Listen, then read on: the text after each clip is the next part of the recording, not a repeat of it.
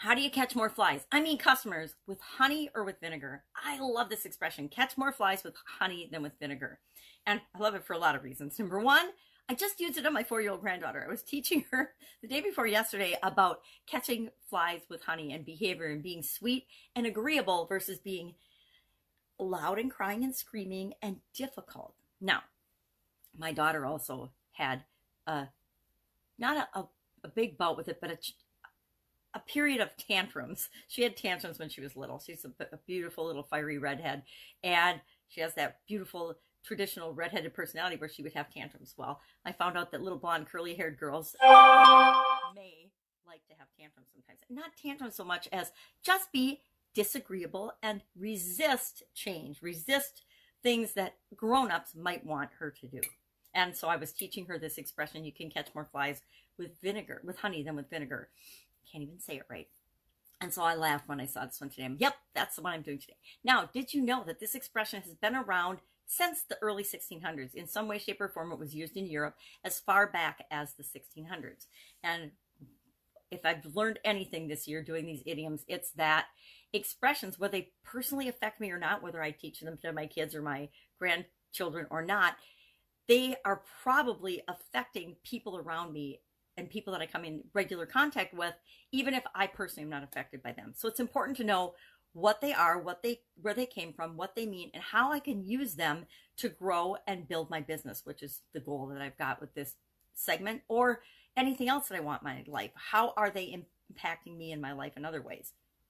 And this saying is no expre- no exception.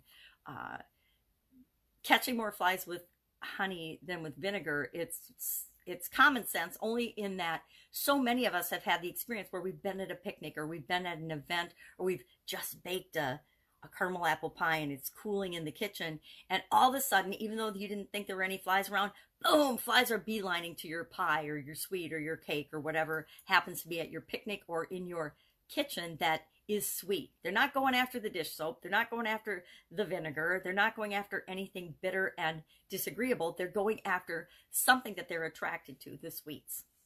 Now, this gets a little tricky when it comes to attracting customers to our business because, like fishing, I'm going to use a fishing analogy because I actually I, I don't I haven't fished much lately, but I used to fish a lot with my ex-husband, and we would fish for walleye. And anyone who's fished for walleye know that walleyes like to bite on and like to um, or will bite on different types of bait. Sometimes it's minnows, sometimes it's leeches, sometimes it's night crawlers, sometimes it's big gross worms, sometimes it's um, lures, different types of lures. It's not that the fish are fickle, it's just sometimes they're hungry for some things, other times they're hungry for other things. Now, I would imagine that minnows and leeches and crawlers taste sweet to walleye, but I don't know because I've never talked to a walleye. So the point about the bait is that sometimes we need to use different bait to attract people to us. Um, but it has to be sweet and appealing to the fish. It has to be sweet and appealing to our customers. If it's not what they want, they're not going to bite on it. They're not going to take advantage of it. If we're not giving people what they want, they're not going to be attracted to us in our businesses. Um, and here's the other biggest lesson I learned that reminds me of fishing. When the mayflies are hatching, the fish aren't biting. If the fish aren't hungry, if the if the place you're fishing doesn't have any hungry fish, the only thing to do is to move the boat and fish somewhere else. Um, go after different crowd, of different people.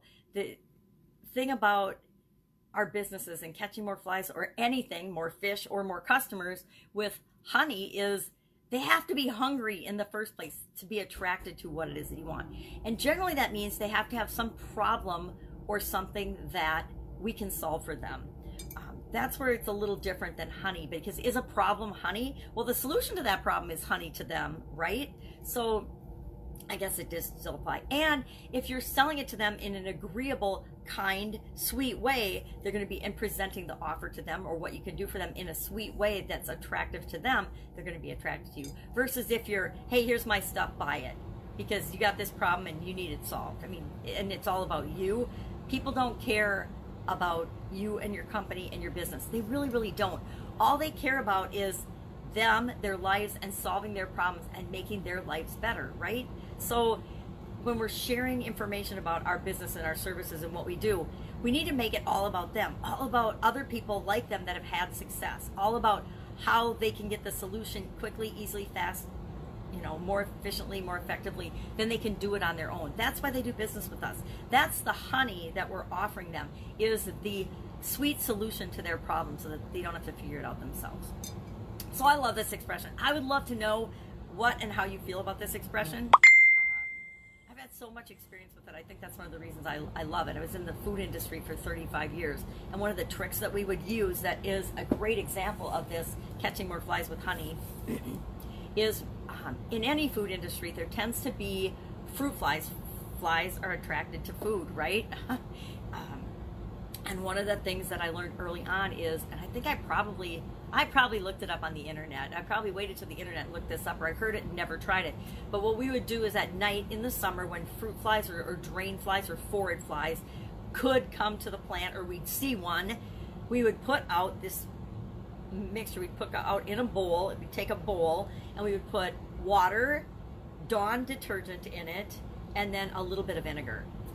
And for some reason, they would flies, the fruit flies, the phorid flies would be attracted to the Dawn, the sweetness in the Dawn, and then they would get stuck in this vinegar and um, Dawn mixture, and then we would trap them and we would get rid of them. So we wouldn't ever have a fruit fly problem because the fruit flies were attracted to Dawn. We want to do the same thing in our business. We want to find the bait that is attractive to our particular customers, the people that we're here to serve.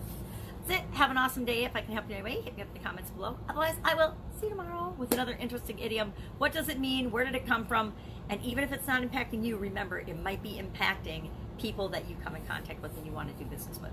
So that's why it's important to know these things. Have an awesome day. Catch you tomorrow. Bye. Catch you tomorrow like the fish.